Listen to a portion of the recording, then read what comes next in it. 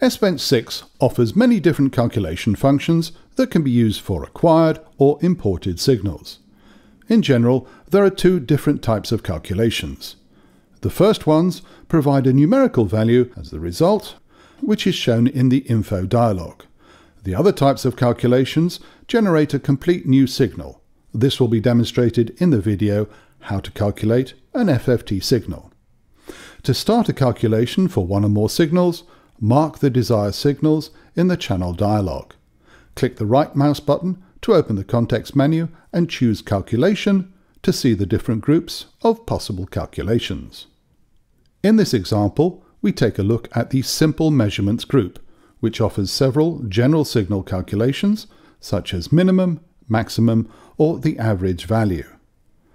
Another way to start a calculation is to use the New menu. In the pull-down menu, you will find the same groups of possible calculations.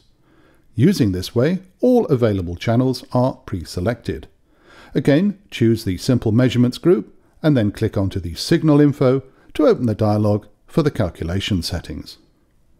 In this dialog, on the left side, there is a list of signals that will be used for the calculation.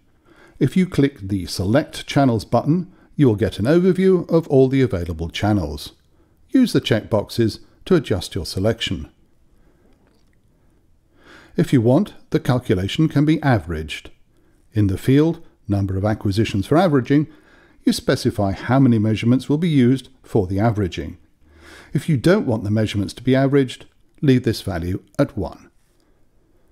In the Calculation Area pull-down menu, you determine if the calculation will happen for the entire signal or only parts of it. You could choose current view for the current zoom area or cursor for the area between the two cursors. In this example, choose current view. Under source display, you can determine which display will be used for the calculation if several different analog display windows are open. If the Keep Calculation in the Loop checkbox is activated, the calculation is done not just once, but starts again with every new measurement or change of the source signal. Finally, click the OK button to start the calculation.